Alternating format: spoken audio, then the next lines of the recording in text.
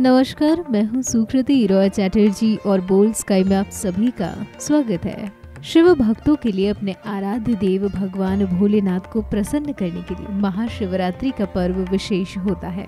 महाशिवरात्रि पर शिव आराधना करने से जीवन की परेशानियों और ग्रहों से संबंधित दोषों का निवारण होता है। महाशिवरात्रि पर भगवान भोले को प्रसन्न करने के लिए भक्त कई तरह की चीज़ों को उन्हें अर्पित करते हैं। ऐसे में कई बार जाने अनजाने में भक्त ऐसी चीज़ें चढ़ाने लगते हैं, जिसे शास्त्रों में वर्जित माना गया है। शिव आराधना में शंख है वर्जित। शिव उपासना में शंख का इस्तेमाल वर्जित माना गया है। दरअसल इसके पीछे एक पौराणिक कथा है। भगवान शिव ने शंख चूड़ नाम के असुर का वध किया था, जो भगवान विष्णु का भक्त था। शंख को उसी असुर का प्रतीक माना जाता है, इसलिए शिव जी की पूजा में शंख का प्रयोग नहीं करना चाहिए। न ही शंख से शिवलिंग पर जलाभिषेक करें, और न ही पूजा में शंख बजाएँ।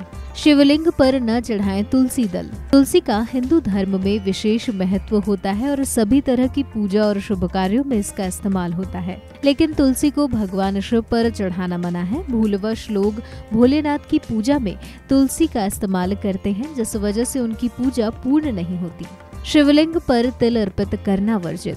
तिल को शिवलिंग पर चढ़ाना वर्जित माना गया है, क्योंकि ऐसी मान्यता है कि भगवान विष्णु के मैल से उत्पन्न हुआ है। शिवलिंग पर टूटा हुआ चावल न छिड़के। भगवान शिव को अक्षत यानी कि साबुत चावल अर्पित किए जाने के बारे में शास्त्रों में लिखा है। टूटा हुआ चावल अपूर्ण और अशुद्ध होता है, इसलिए शिव जी को न चढ़ाएँ। कुमकुम या सिंदूर है वर्जित। कुमकुम सौभाग्य का प्रतीक होता है जबकि भगवान शिव वैरागी हैं, इसलिए शिव जी को कुमकुम नहीं चढ़ाना चाहिए। साथ ही शिवलिंग पर हल्दी भी न चढ़ाएँ। नारियल का इस्तेमाल न करें। शिव आराधना के समय शिवलिंग पर नारियल पानी से अभिषेक नहीं करना चाहिए। नारियल देवी लक्ष्मी का प्रतीक माना जाता है जिनका संबंध भगवान विष्णु से है। सुहाग की निशानियाँ। शिव पूजा करते वक्त कभी भी सुहाग से संबंधित कोई भी चीज़ अर्पित न करें।